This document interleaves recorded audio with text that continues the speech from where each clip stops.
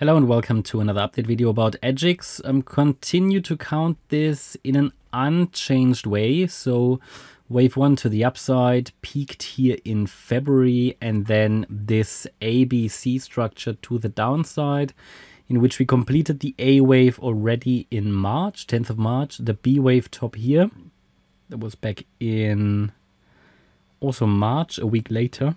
And then now we're looking at this C wave here to the downside, which actually comes across as impulsive because we don't even have an overlap between wave 1 and 4. And um, the subwaves can be counted as five wave moves. Yeah. And therefore also the last wave down here needs to be a five wave move. So at the moment we only have three. And um, it reacted obviously to our resistance area. Bear in mind, weeks ago we said this looks like a crystal clear three wave structure to the upside, which could follow through to the upside, but should really go down, make another low. Relevant support was 17.3 cents.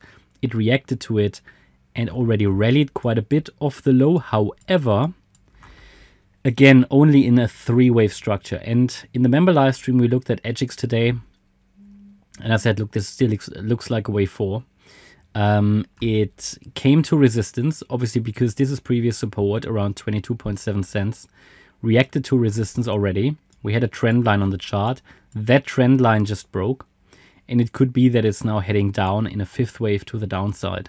Make one more low. Now, the problem with one more low is, and again, I need to see a break below the B wave low to confirm that. That would be at 18.5 cents. If it breaks below that level, then next support is again 17.3. But below that level, I have a problem because it would break below the 78.6 retracement. Again, that would be not that would not be so healthy and good for further continuation in a third wave rally because that's when probabilities shift more towards bearish scenarios. However, um, we still have support below that. So, I mean, I've got the 16 cent level below that and then the 10.9 cent level, which is the 88.7 FIB level. It's just below that I have nothing. Um, it's just that probabilities shift towards more bearish setups or more bearish scenarios if price breaks below the 78.6 FIB level. But we can still give it a chance because it basically, the count suggests one more low. And if it just makes that one more low, but recovers fairly quickly, it would still have a chance. So yeah, I'm still I'm still looking at uh, one more low here probably. However, as soon as price gets a five wave move off the lows and it's far away from that, but if we get a five wave move up, then we can look at something more bullish. At the moment, this is a crystal clear three wave move. And if we get a break with the small swing high there at 21.8 cents, that's already the first signal that things are going to head to the downside.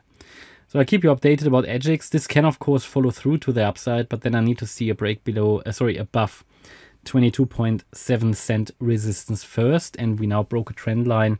Doesn't really look like it. Yeah, that's my update about AGIX. Hope you liked the update. If you did, please hit the like button, leave a comment and subscribe. And if you really like the content, then please check out the channel membership. Thanks a lot for watching. Bye-bye.